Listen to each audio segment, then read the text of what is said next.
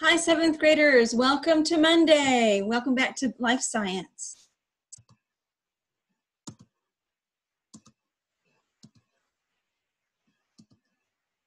Okay, here's my screen. Today is the recording for Monday, April 6th. You're going to, as usual, watch your video and take great notes. So write down what I'm asking you to write. I'll see you later at the daily uh, Q&A Zoom and I'll have questions from this video for you. And please head over to your RenWeb so that you can check your Google Classroom uh, to see if there's homework there for you. Um, there should be an assignment on 4-7, I mean that's on 4-6 for you that'll be due tomorrow. Okay, let's get going. Quick review. We finally got to talk about Phylum Chordata last Friday. And remember, Phylum Chordata is cool. It is the only phylum that contains vertebrates. So now it's time to talk about all the animals that we're more familiar with.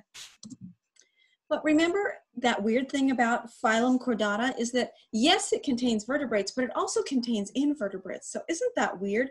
Well, why would those two types of creatures be in one phylum? Well, they have four characteristics that are in common. So let's review those quickly.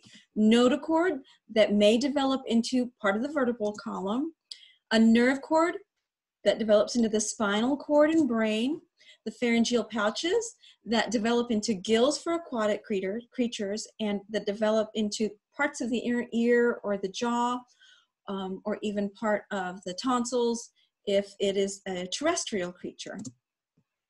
And also a tail can be present at some point in their development. Okay, so that's what we've looked at.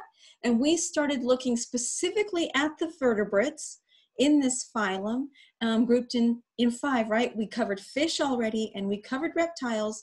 Today, I'm gonna try and shoot for amphibians, birds, and mammals. Let's go. Here, amphibians, take a look at that. Let me grab my notes. All right, so here's just an assortment of amphibians. I have them grouped in their three major types. You see newts and salamanders on one side, and you see frogs and toads on the other side. And in the middle, caecilians, those are called. All right, so about amphibians, you know, we learned about fish, and fish live in water, right?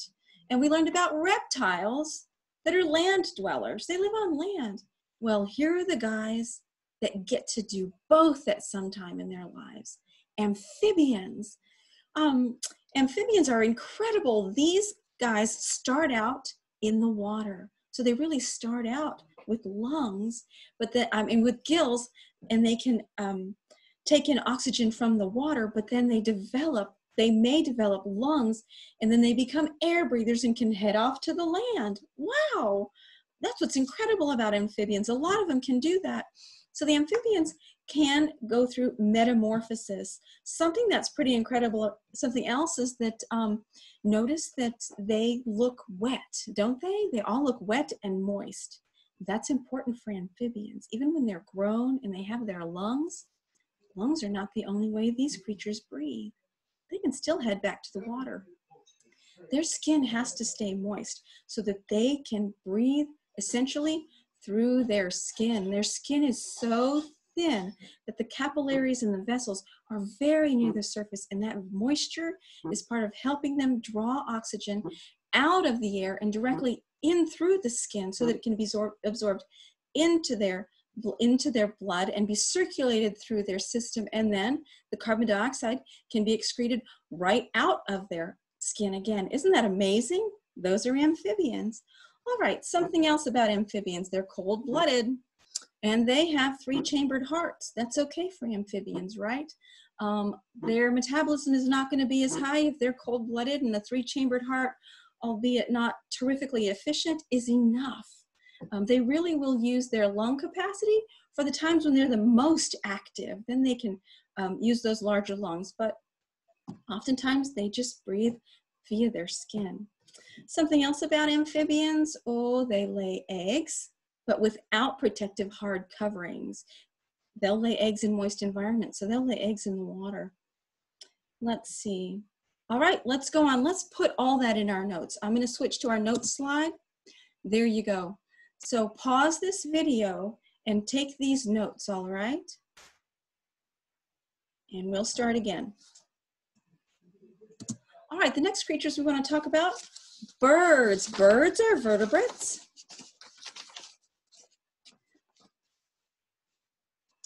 Birds have that, um, uh, their, I'm sorry, their skin is covered with feathers, stiff feathers that enable them to move through the air. Amazing vertebrates, right? Um, birds can also spend time in the water, some of them. And the ones that spend the time in the water, really, penguins, for instance, they actually have oil glands that will help to waterproof their feathers and that helps them slip quickly through the water and it also helps to keep them dry. Something else about birds, you notice they have beaks. They don't chew. Um, what's unique about birds? They have gizzards. A gizzard is part of their digestive system that makes up for the fact that they cannot chew their food. Uh, for a gizzard, uh, that organ, they will um, take in small pebbles or perhaps sand, granules of sand, so that it can crush up the food that they have swallowed. Um, it's just part of their digestive system. All right, something else is that they are warm blooded. This group of mammals is warm-blooded. So they have four-chambered hearts. Wow, warm-blooded creatures have high metabolisms. They certainly can move around a lot. They're going to need a lot of cellular respiration, right? They're going to need a lot of oxygen supplied and a lot of carbon dioxide expelled from their systems. So this four-chambered heart is part of their circulation system that can pump really efficiently and well and get that job done. All right, something else about birds is that they lay fluid-filled eggs with hard shells. All right, let's go on. I want, I'm really eager to share this with you. The ostrich. I know it's not a fancy bird, but it reminds me always the ostrich because you know they get they get teased. They're not very bright. They're just known as the um, simpler of the birds. But uh, you know, there's a scripture in the Bible that just shows that God's planning is amazing. He planned for all the creatures on the earth, right? That's our themed verse, is how wise He is, and in wisdom He made them all. So I want to share with you one of my favorite passages that reminds me that, uh, you know, even the simple ostrich is made simply, and yet God equipped this ostrich purposefully very, very well. Okay, so let me tell you a little bit about ostriches. What this verse says about them, that's pretty true.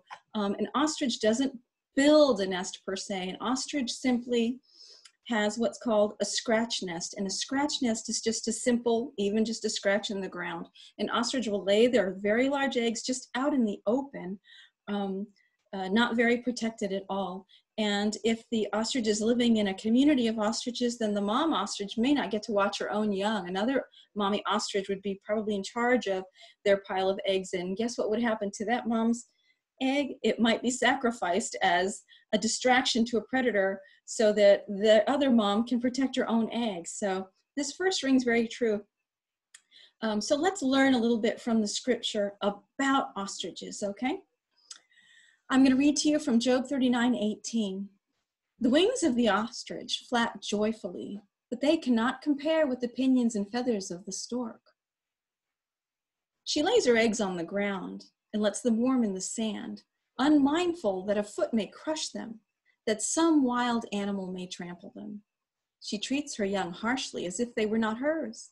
She cares not that her labor was in vain. For God did not endow her with wisdom or give her a share of good sense. Yet, when she spreads her feathers to run, she laughs at horse and rider. This verse really highlights that yes, the, the ostrich has the teeniest brain and is very simple, but so very well equipped to defend itself and to run. It can run faster than a horse with a rider on it. Um, all right, so I have a link there to a video. I would really like you to pause the video, uh, pause this video and go and watch that video. The link I put already in your RenWeb, um, or you can just copy and paste it into another window or write it down and paste it. I'll see you after the video. Okay, I hope you enjoyed that. We're gonna continue talking about mammals. Oh, no, actually, this is our first slide about mammals. We made it. We did it. Amphibians and birds. On to mammals now. Terrific. Let's do this. All right, I have a nice selection of mammals for you to look at.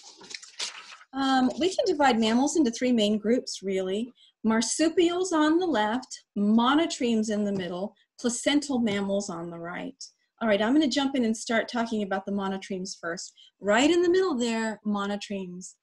Very different creatures. Okay, the spiny anteater and the platypus are classified as mammals. They lay eggs. It's amazing. But remember, we do have some uh, crossover animals. Animals are very hard to classify. The amazing organization, I mean, the variety of creatures that God put in the world are very hard for us to divide and see clear lines between them. Well, here we have the spiny anteater and the platypus in with the mammals. They lay eggs.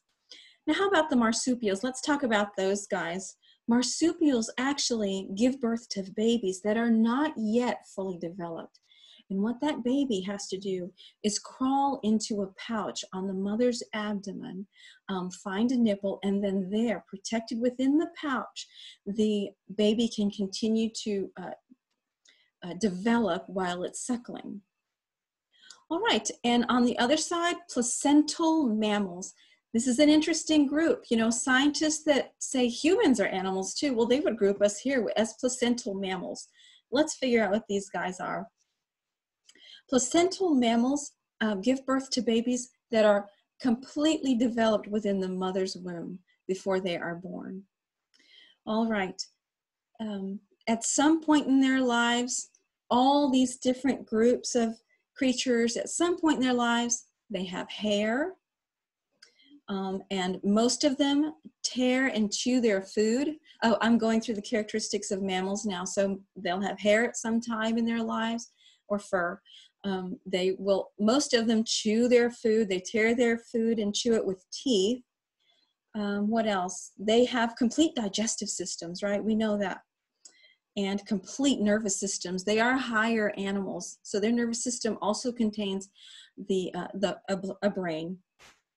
And they have mammary glands. Those are, uh, they produce milk for their young, right? A gland is actually an organ um, that makes a, that releases a substance. And in this case, the mammary gland releases milk for their young. All right, let's see if we can get this into our notes now mammals. Here they are. So take those notes. Um, make sure you write those, those things down in your science book. I'm going to flip to, I'll give you a second and then flip, I'll flip backwards to some examples and you can write those down.